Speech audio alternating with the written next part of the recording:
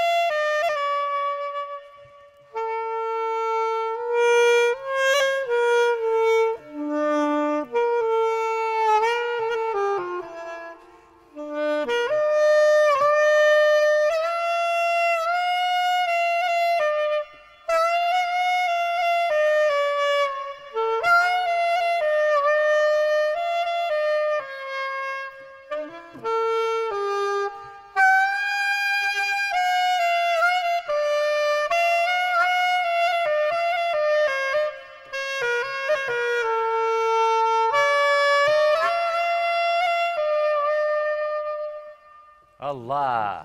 إيش هالجمال؟ بتزمر هذا. حلو. اهو لا لا حلو. آه، شفتي بقى الزمارة بتعمل إيه؟ فكرتيه بالتراك ده. أنا أول تراك لعبته ما لعبتش تاني من بعدها. بجد؟ بس هو يعني كان الخطوة. كان هو ده اللي هو سخن أنا كان عندي مشكلة أصلا في الأول. أول ما بدأت أنا مذاكر لوحدي. فانا مم. بجد ما أعرفش أي حاجة عن الآلة. فبجد تقريبا هنقول أول سنة تقريبا كنت كل حاجة بعملها غلط. بس اللي هو كان كل اللي مساعدني تقريبا اللي هو ال- يعني هي أنا سامع حاجة. أنت سمعي سامع بالظبط فالموضوع معايا اللي هو أنا سامع حاجة طالعة كويسة فأنت لو سمعت تطلع كويسة لكن لو سألتني أنا بعمل إيه أقول لك ما أعرفش أنت بدأت بجد ما أعرفش بدأت اكتشافك إن أنت بتحب المزيكا وإن أنت عايز تعزف إمتى؟ بعد ما دخلت تربية نوعية ولا لا، قبلها؟ قبلها يعني من بعد فترة إعدادي مثلا مم. كان في في آلة كده اسمها ريكورد. آه طبعا عارفاها.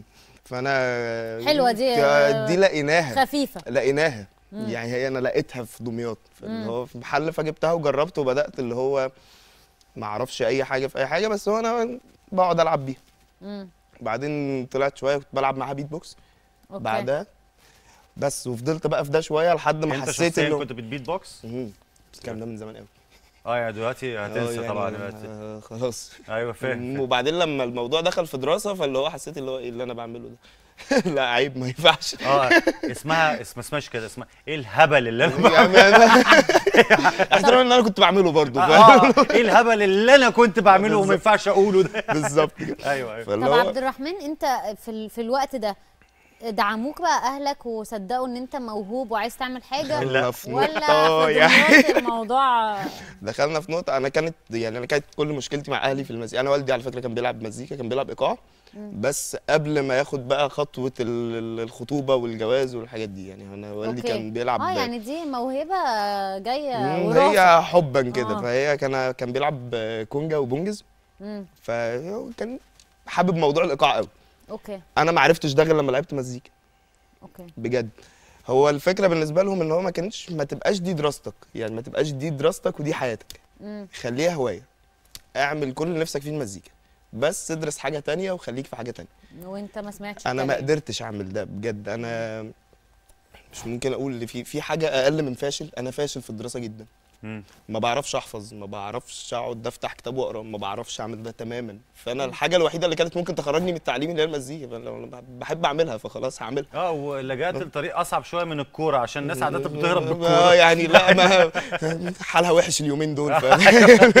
انت راجل عقلاني وواقعي وعارف اللي فيها بالظبط، فقال لقيت- لك أنا أزمر. أنا ما عرفتش ما بعرفش فعلا. يعني أنا مثلا كانت نتائجي كل المواد العملي امتياز امتياز امتياز مقبول مقبول راسب مقبول راسب دايما.